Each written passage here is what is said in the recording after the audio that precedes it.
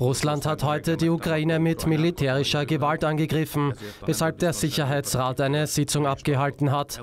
Gemeinsam mit unseren Verbündeten in der Europäischen Union und der NATO verurteilen wir das militärische Vorgehen Russlands.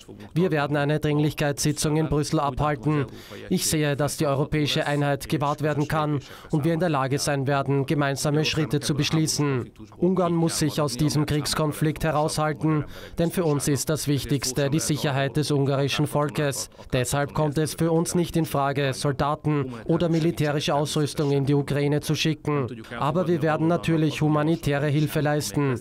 Wir können die Vorschläge der Linken nicht akzeptieren, die Ungarns Energie- und Gasversorgung gefährden und die niedrigen Energiekosten der Familien in Frage stellen würden. Unsere Militär- und Polizeieinheiten haben ihre Arbeit entlang der ausgewiesenen Abschnitte der ungarisch-ukrainischen Grenze aufgenommen. Leider müssen wir damit rechnen, dass nach dem heutigen Militärangriff die Zahl der ukrainischen Bürger, die den Flüchtlingsstatus beantragen, steigen wird. Wir haben uns auf ihre Betreuung vorbereitet und werden in der Lage sein, diese Herausforderung schnell und effektiv zu bewältigen.